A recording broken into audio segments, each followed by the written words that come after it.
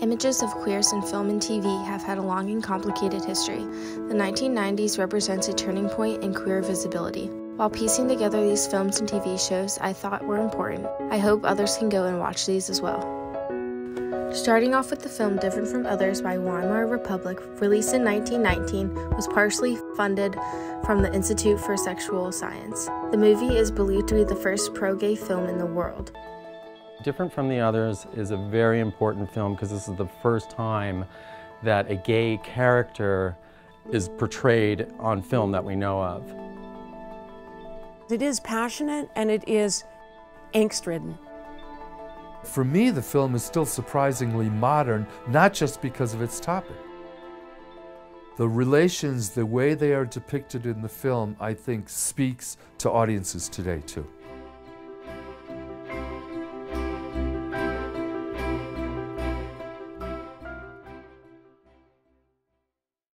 The next movie that I decided to look at was Paris is Burning, 1990. It's also known for the tool for gay and trans youth. The movie showcased the New York ball scene parties competitions where queer people performed. This movie influenced the TV show RuPaul's Drag Race. I really liked looking into this movie because I've gone to drag shows before and I've never seen any clips from this movie and I found it really inspiring.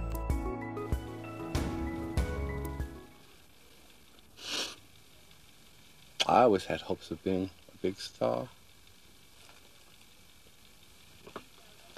And then I look, as you get older, you, you aim a little lower.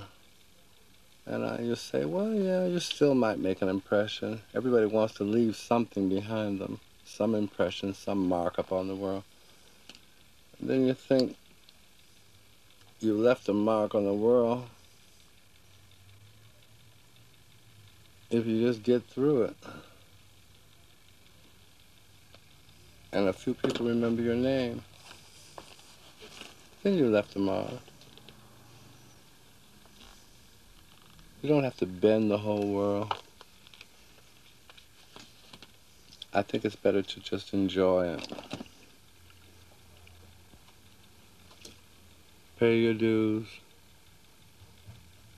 and enjoy it. If you shoot an arrow and it goes real high, Hooray for you. Another movie that I found interesting throughout LGBTQ films is Brokeback Mountain, that came out in 2005. This movie played a part in the less ending homophobia in America. I think this movie is important because it's eye opening to people that may be closed minded to the society that they live in. It shows that situations like this happen in society and you don't have to hide it.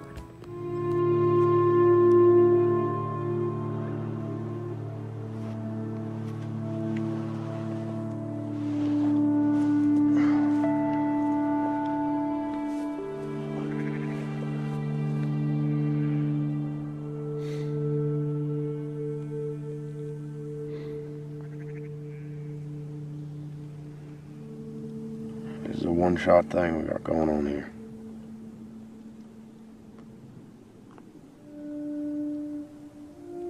It's nobody's business but ours. You know I ain't queer. Me neither.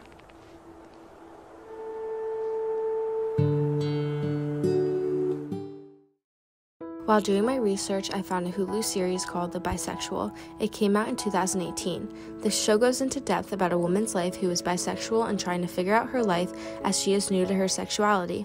The show gives insight into real life situations that can be relatable to members of the LGBTQ community. I didn't know shows like this existed, but I'm glad I came upon it. I think shows like this should be on actual TV so more people can be aware of it, and as a society, we can relate to each other together. Googled that guy you're living with. You know, if he weren't white and straight, you would be impressed. If he wasn't white and straight, he wouldn't have written a book called Testicular. It's my friend Dennis. Dennis. Dennis. Dennis. Dennis. Dennis. Forget it, man. Sometimes I think if a guy had swept me off my feet, I would have gone the path of least resistance. I'd have been straight. Bisexuality is a myth. It was created by ad executives to sell flavored vodka. The Bisexual, coming soon to Channel 4.